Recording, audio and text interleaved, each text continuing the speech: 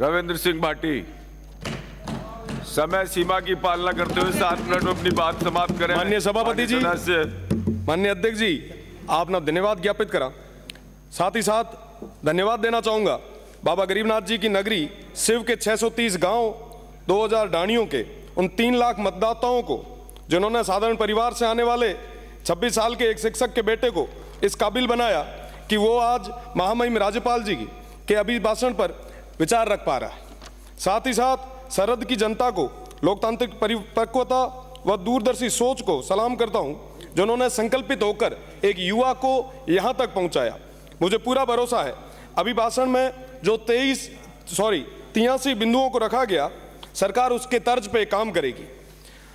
मैं आपको बताना चाहूँगा कि पश्चिमी राजस्थान के उस कोने से मैं आता हूँ, जिन्होंने 1965 के 1971 के युद्ध में सबसे ज़्यादा अपनी भागीदारी निभाई।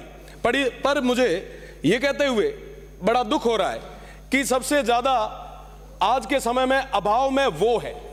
ना शिक्षा है, ना पानी है, ना रोज़गार है। बिजली की और चिकित्सा की तो बात ही नहीं करें तो ठीक है। अगर मैं बिजली की बात करूँ तो पिछले चार दिनों से 170 गाँवों के अंदर चक्की तक नहीं चली, आटा तक नहीं पिसा। अगर मैं बात करूँ पानी की तो पिछली सरकार ने पानी के मामले में सिर्फ़ लिपापोती की। पाँच साल में हमारे एक भी आदमी को एक भी घर तक पानी नहीं पहुँचा। साथ ही साथ, अभी मेरे से पहले हरीश जी चौधरी साहब ने फरमाया कि साहब, शेरगढ़ में, सिवाना में कितने डिमांड भरे गए। मैं बताना चाहूँगा कि मेरी शिव कॉन्स्टिट्यूंसी भी पास में है, पचपदरा भी पास में है। पिछले पाँच साल में हज़ार से ज़्यादा पेंडेंसी मेरी शिव कॉन्स्टिट्यूंसी की है ऐसी की ऐसी उन तमाम कॉन्स्टिट्यूंसी की भी। बिजली, पानी, सड़क और चिकित्सा, इन सब मामलों में सबसे ज़्यादा अगर कोई पीछे है तो हम हैं।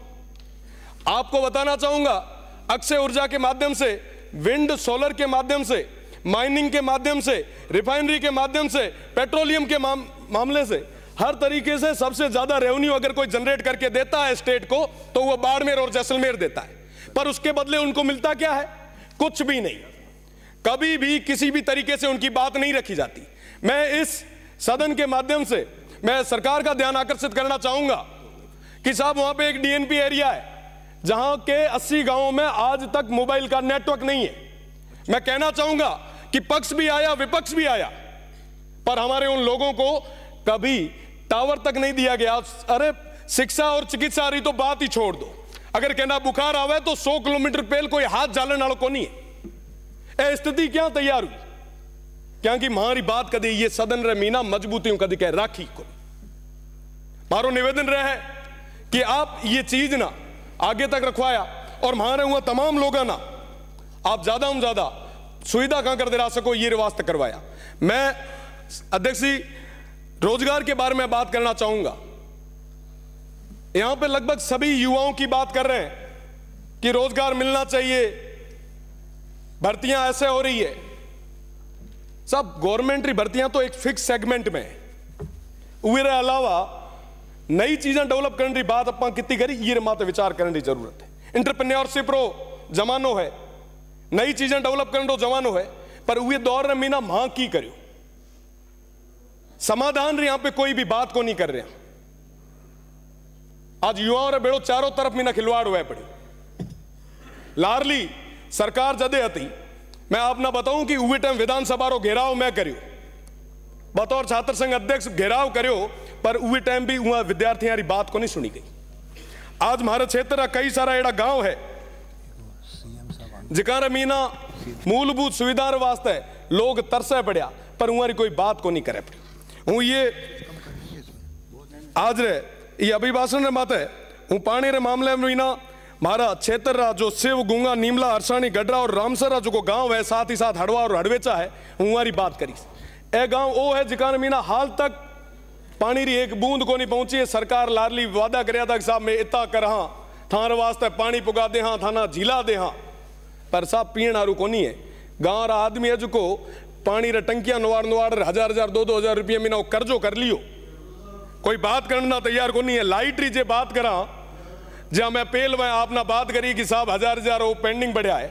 उरे टाल साहब ट्रिपिंग रे लारे और कटौती रे कारण ए स्थिति है कि साहब वो किसान है जो आत्महत्या करने की कगार माता आयो रो। कोई बात को नहीं करे तुम वाली बिल्कुल साहब पाँच साल आपरी बात करा अक्षय ऊर्जा। बिजली जो आप विंड और सोलर की जो बात कर रहे हैं। सीधा नहीं। विंड की और जो सोलर की बात कर रहे हैं कि साहब हम वो विंड और सोलर सबसे ज़्यादा हम प्रोडक्ट करके देते हैं। दिया तले अंधेरा है हुक्म। दिया तले अंधेरा है। वहाँ के लोगों को लाइट नहीं मिल रही। रोज किसान आए दिन वहाँ पे हड़तालें कर रहे हैं धरने दे रहे हैं। उनकी बात कौन करेगा? ये रिफाइनरी जो हमारे बाड़मेर के अंदर है वहाँ के स्थानीय लोग वो दर दर की ठोकरें खा रहे हैं। उन युवाओं को वहाँ पे रोज़गार के लिए एक परसेंट भी वरीयता नहीं दी जा रही। कोई बात नहीं कर रहा था। और बाड़मेर जैसलमेरी बात कराएँ कि साहब की करो थे? खूने माते बैठा। लांठा हाँ उत खूने माते बैठा।